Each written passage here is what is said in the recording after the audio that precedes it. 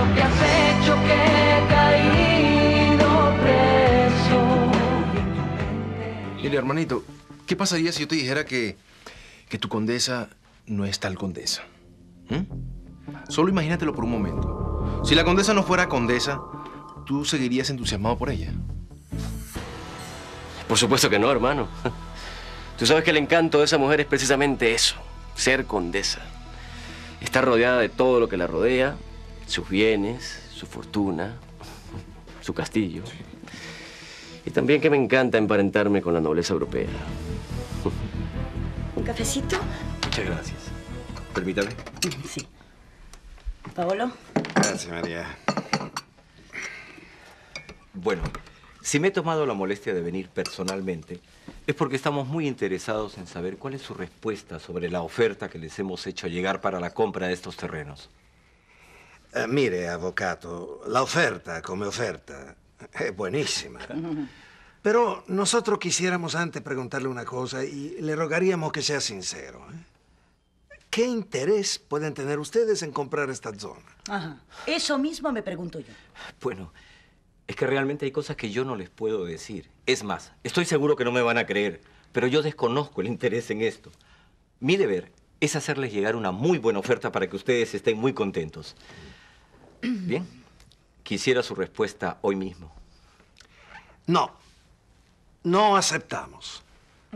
Eso sí, quisiéramos agradecerle por la molestia que se tomó en venir hasta aquí. Señor Trevi, créame que lamento mucho esa respuesta. Y espero que no se molesten si tienen noticias mías muy pronto. Aquí estaremos, doctor. Esta es nuestra casa. Hasta luego. Permiso. Buenos días.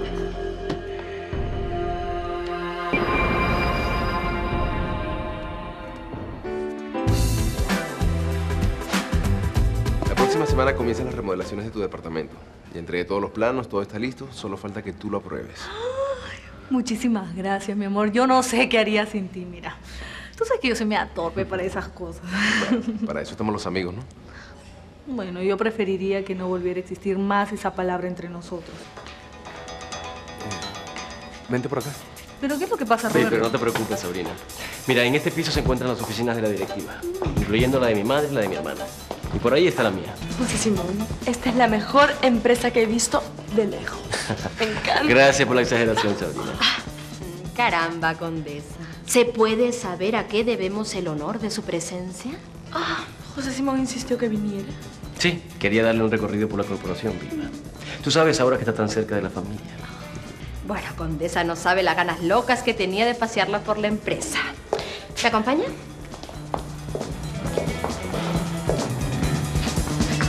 Lena, necesito que me hagas un favor urgente. ¿Pero qué haces, tío? Baja la voz, Lena, baja la voz. Mira, yo después te explico, sí. Pero yo quiero que lleves a la condesa al estudio 5. Dile que hay un obrero que se muere por conocerla, algo así. Ah, mira, no soy hermano de José Simón, ¿ok? No tengo nada que ver con Holandayeta. Yo después te explico, Lenita, ¿sí? Ah, mira, mira, mira. Si te pregunta qué obrero es ese, le dice que bueno, que lo contratan a destajo porque el tipo es buenísimo. Eso sí, el tipo es excelente, ¿ok? Chao.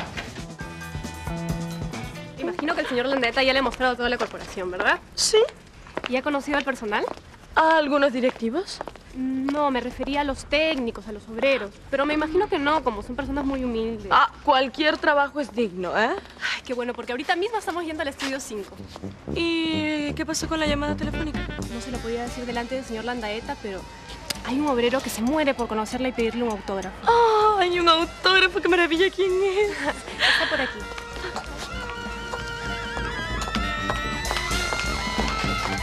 ¿Usted es el que quería conocer a la condesa? Sí. Pues le presento a la condesa Sabrina Di Farnesio.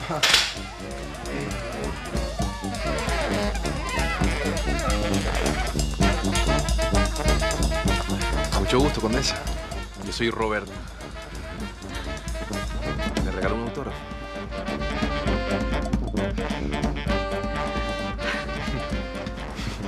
¿Qué le pasa, condesa? La veo así como pálida.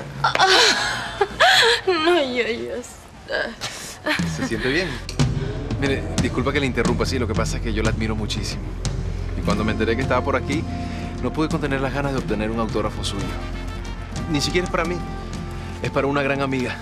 Ella colecciona autógrafos. ¿Me lo da? Ella se llama Lucía.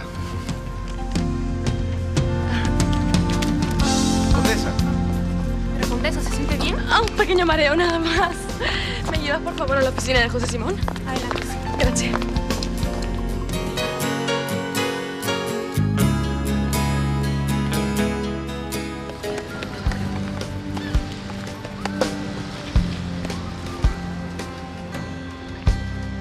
Perdón, ¿es usted el señor Rondón?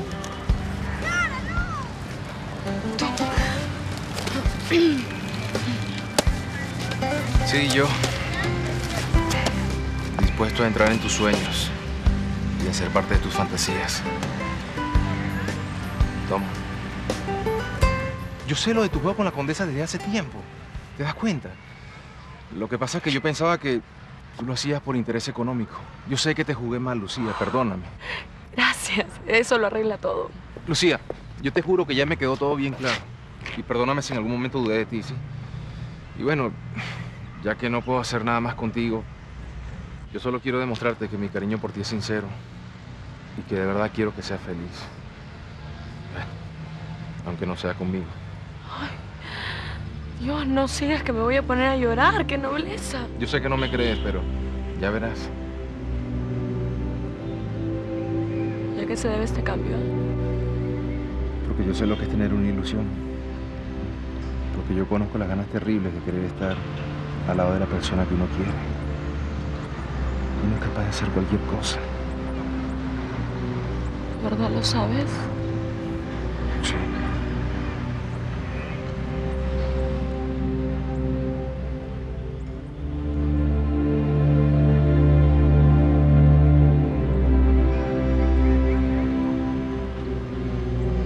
Pero no creas que soy tan buena gente así, ¿no?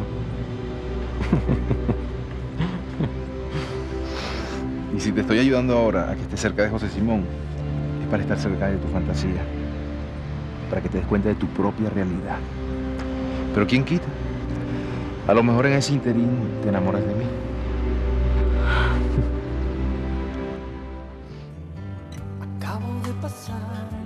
Atenzione, aquí la tía María y yo le tenemos una sorpresa. ¿eh? Le vamos a presentar al nuevo inquilino de la pensión Juana. Un momentino, ¿eh? quédense ahí, no se muevan, ¿eh? Otro inquilino más. Bueno, a mí este me agrada mucho. Tía María, cada vez que pones esa cara es porque... ¡Éccolo! ¡Éccolo! Aquí está el nuevo miembro de la familia, el amigo Roberto. Hola. ¿Me quieres explicar qué significa esto, Roberto? ¿Tú no tienes casa donde vivir? Ma, Lucia, ma che cosa significa esto, eh? Ma nosotros estábamos felices, pensamos que ustedes también, Madonna Santa, ma non essere così maleducata. ¿De dónde salió la idea? Sí, sí, estamos contentísimos. ¿De dónde salió la idea? Ma Lucia, Lucia, ma dónde está tu sentido de solidarietà? ¿Ah? Mire, este, don Pablo, eh, de verdad no se preocupe, gracias por todo, pero si hay mucho problema, yo puedo buscar otro sitio. No, no, no, un momentino, ma che problema? Ma che otro sitio? Usted se queda aquí porque esta es su casa. Ma este pobre hombre se le rompieron la tubería de la casa. La tubería, ¿pero qué? ¿No, ¿No son la especialidad de él las tuberías? Mira, Enzo, para tu información, esas tuberías no las reparé yo. Pero ¿sabes qué? Acá se No, un momentino, ma cosa succede? Ma Enzo, basta, eh? Ma basta, ma che le pasa a ustedes dos? No es posible. Mira, Enzo, eh, y tú también. Yo no quiero ver que no ayuden aquí al amigo, ¿eh? E basta, ¿eh? Non ne parliamo più. Roberto, te acompaño a tu cuarto. No, vamos. no, no se preocupe, don Pablo, este, yo conozco el camino. Eh, bueno, con su permiso, eh, voy a llevar mis cosas. Ay, hija, esos cierra puertas en los centros comerciales son mi perdición. ¿Qué me vas a decir a mí? ¿Y qué hay de todo? No se tienta. ¿Quién dijo alguna vez que comprar compulsivamente ayuda a controlar la depresión? Creo que fue un publicista. ¿Polo? Polo. Polo, ¿qué le pasa? Polo. Ay, Dios mío. ¿Qué le pasa, Polo?